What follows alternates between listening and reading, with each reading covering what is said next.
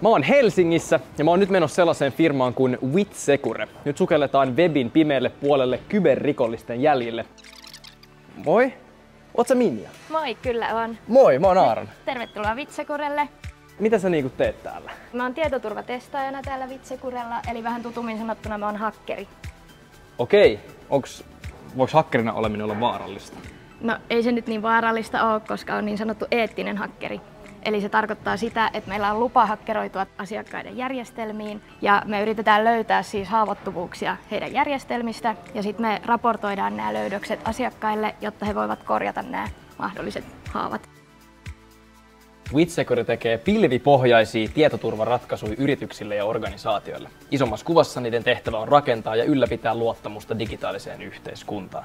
Mut nyt mä haluan nähdä, miten hakkeroidaan. Voit sä näyttää mulle? Kyllä. Yes. Wow, siis täällä on lisää näitä hakkereita. Anteeksi. Oot, sä, oot säkin hakkeri? Joo. Ui vitsi, miten siisti tarlo. Onko tää sun kone? Kyllä. Eli mitä tässä nyt niin näkyy? Eli tässä vasemmalla puolella ruutua näkyy nyt nettisivu ja sitten tässä oikealla on tämä ohjelma, niin tämä ohjelma näyttää tuon nettisivun liikenteen. Kyllä saakeli, en taju mitään. Ja mitä hyötyä sitten on, niin että tarkastelee tätä liikennettä? Eli tämän kautta voi löytää nyt niitä haavoittuvuuksia esimerkiksi tuolta järjestelmistä. Ja miten, miten se käy? Niin kuin? Mä lähtisin testaamaan täältä erilaisia, näitä kutsutaan endpointeiksi, tätä nettisivun, näitä minne lähetetään pyyntöjä sinne palvelimelle, niin erilaisiin endpointteihin, niin lähtisin testailemaan erilaisia asioita ja katsoisin, että tulisiko sieltä vaikka joku virheilmoitus, mikä okay. sitten paljastaisi mulle, että siellä voi olla joku haavoittuvuus. No mut onks mä niinku vaarassa nyt, jos mä oon sunkaan, että pystyykö sä vaikka hakkeroida mun IG-tilin tai jotain? No en sentään. Et sun Instatili on lähinnä vaan vaarassa silloin, jos sä haksahdat johonkin hakkerin kalasteluviestiin. Eli okay. älä ikinä anna sun salasanaa kellekään. No en anna. Mikä on sun mielestä sit niinku hu- kaikesta huonoin salasana? Varmaan salasana. Et, niin, no joo, totta. Sitäkin valitettavasti ihmiset käyttää. Oikeesti? Tai salasana 123. N- niin,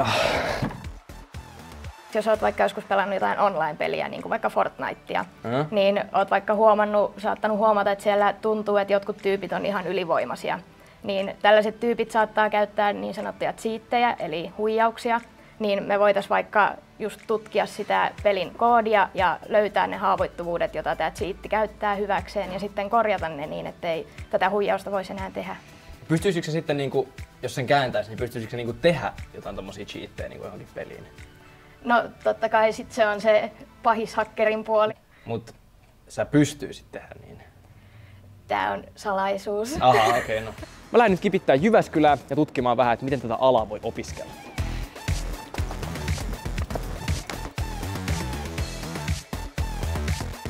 Nyt ollaan Jyväskylän yliopiston IT-tiedekunnassa, jossa tutkitaan ja opetetaan kyberturvallisuutta. Mutta mitäkään se kyber sit edes oikeasti on? Tässä löytää Martti, Joo, ei, ei oo. Tuo ei, tuo ei taida olla Martti. Mä oon Aaro, moi. Martti Lehto, tervetuloa Jyväskylän yliopistoon ja IT-tiedekuntaan. Mitä sä sitten opetat täällä?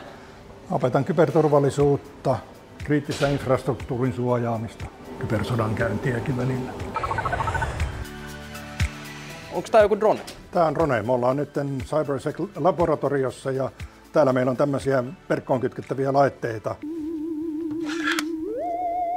joita me täällä monella tavalla tutkitaan. Ja mi- miten tämä drone sitten liittyy niin kuin kyberturvallisuuteen? No, dronehan on itsessään tällainen IoT-laite ja niissä on haavoittuvuuksia ja heikkouksia yleensä. Yksi ajatus, mikä meillä tässä nyt on, että me halutaan häiritä tämän lentorataa ja katsoa, että saadaanko me kulutettua vaikka sen akkua nopeammin. Kyberturvallisuus liittyy kaikkeen ympärillämme ja oikeastaan pitää puhua kyberfyysisestä ympäristöstä. Mun auto, koti tai sähköpotkulauta voi myös olla osa digitaalista maailmaa ja kaikki yhdistää tietotekniikkaa ja tietoverkot. Jos mä olisin hakkeri, niin mitä kaikkea mä voisin hakkeroida niin kuin nykymaailmassa? Kotona voitaisiin hakkeroida sun älytelevisio, sun jääkaappi, sun pölyjumuri, sun ruohonleikkuri, kaikki, jotka sä oot liittänyt verkkoon saunan kiuasta myöten. Okei, okay, olisiko mulla jotain niin konkreettista hyötyä, että mä hakkeroisin jonkun toisen saunan keittimen? Ei kun siis sa- saunan kiukaan, anteeksi. Osasta laitteita, jossa on mikrofoni ja kamera, voit seurata mitä sun kotona tapahtuu. Osassa laitteissa niitä voidaan kytkeä, kytkeä bottiverkon osaksi. Mikä tämä bottiverkko on? No se on näitä verkkoon kytkettyjä laitteita, joita on kaapattu käyttöön ja muodostettu niistä erittäin tehokas tietokoneympäristö, joka voi olla supertietokoneen vertainen.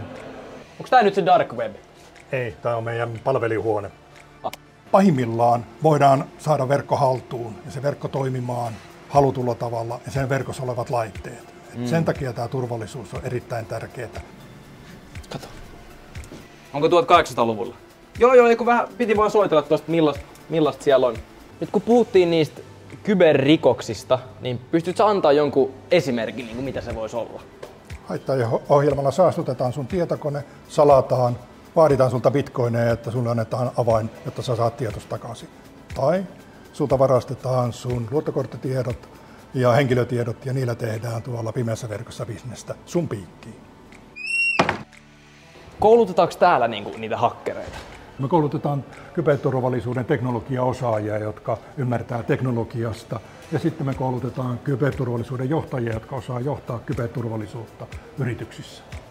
Koko digitaalisen yhteiskunnan toiminta perustuu siihen, että meillä on luottamus näihin järjestelmiin, joita me käytetään. Ja kyberturvallisuus on myös tärkeää sen takia, että mä saan pelata mun Minecraftin rauhassa.